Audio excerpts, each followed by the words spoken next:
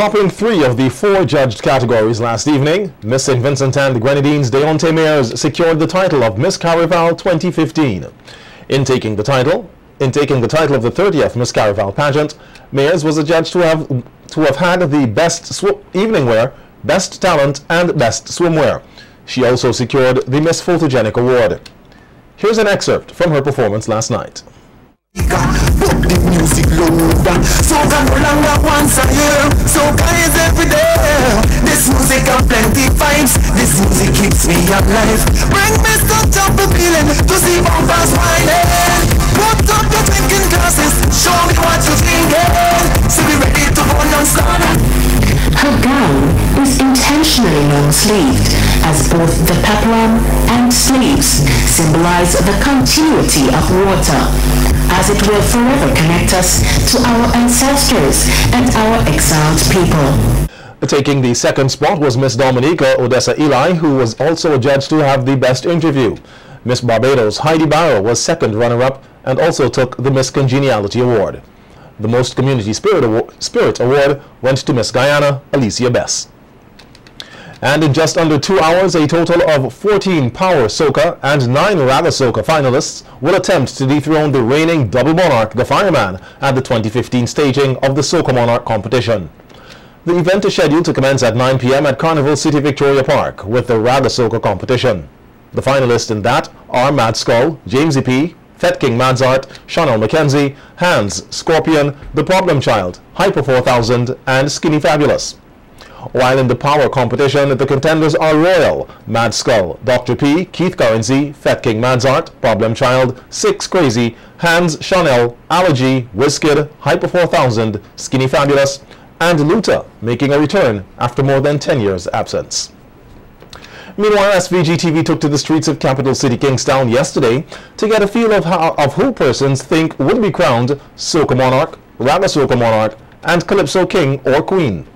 Among the favorites for the soca co competitions for Vince Engines are Skinny Fabulous, defending champion The Fireman and The Problem Child, while some say it's time for the younger artists to have the crown.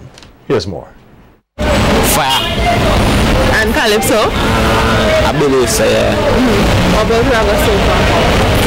It's, uh, it's Okay. Who do you think is going to be Soca? Fireman. And Raga Soca? Fireman. Or what Calypso? Uh, I don't know because I didn't listen to any of the Calypsos. Right. Well, Soca Monarch is a sticky, sticky, sticky one. Well, I think the younger artists will take over this Soca Monarch this year, 2015. Well, I can't say, I, I, trust me, I can't say um, problem child at all. That's a problem child because, you know, she ain't come up nothing good this year, but the young artists coming, right now we take over Simmons right now, right? That. Who do you think is going to win Soca Skinny, skinny. I'm a skinny fan. And Raga Soca? Well, Scorpion though. Everybody saying Fireman though. Scorpion. Who do you think will win Soca Monarch this year? I don't know Fireman as usual. And Raga Soca? As well, I don't. Take it out again. What about Calypso? Not too sure about that. Everything on fire. Except for road match. Road match are dirty. You right? Calypso, that old people think, not young people. Don't beat up. Okay, well, are you a fan of Carnival? Come on. Yeah, come on. Um, who do you think is going to win? Fireman? No, no, no, no. Fireman. We don't really rate the big artists and them like Fireman and Skinny and Problem and them. Me am a royal fan. Understand? Because the young people tell them no, we don't miss. Never young people tell them no. Dust it up. No, no, time for dust. I'm not too sure about that. Skinny get a good tune, everybody get a good tune. That left to be seen. Yeah. And what about Calypso? I don't know about them thing we miss. Well, it's between Fireman and um, what do you call it? Skinny. And what's about Raga Soca? I'm looking at Problem Child.